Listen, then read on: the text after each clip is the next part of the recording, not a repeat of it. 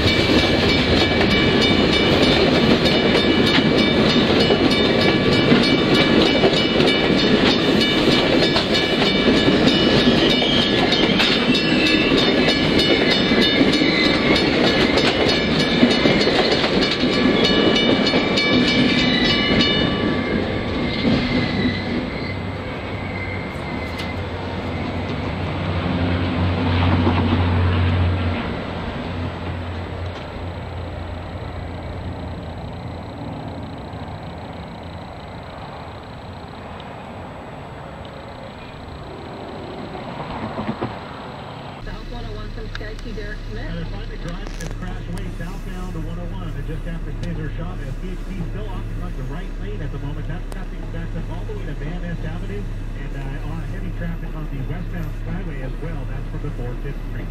Stall on the lower deck of the Bay Bridge, East 80 past that Sterling Street on-ramp. It's a truck loaded with furniture blocking the right lane. North 101 feeling it backed up beyond Vermont now. And it's very heavy in Berkeley, West 80 University to Ashby, where we have an accident that's just been cleared out